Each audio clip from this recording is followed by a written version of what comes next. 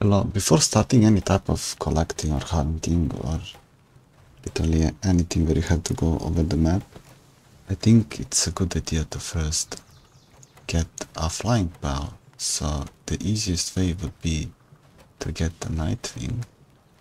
He's the around 15th level, you can get him, then you need to craft this saddle for him. You can craft it at level 15, this is the thing you need after capturing Nitewing. Then you just um, summon Nitewing and then you'll have this F option to ride and it will make your life so much easier. These are locations of all miscellaneous and it says sometimes like small pet soul, small soul.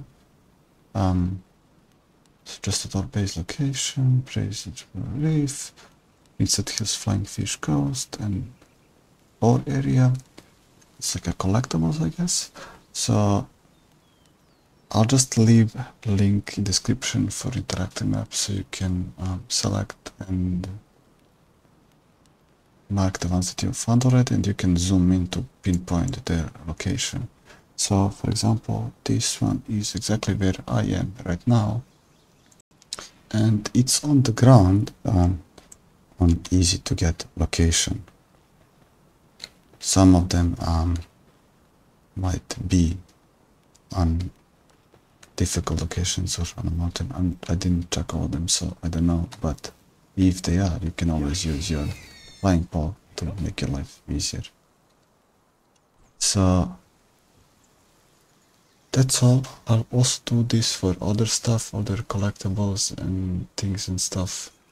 But if you have interactive map, you can just select the things that you need and don't really have to search um, videos. So I guess that's all. See ya.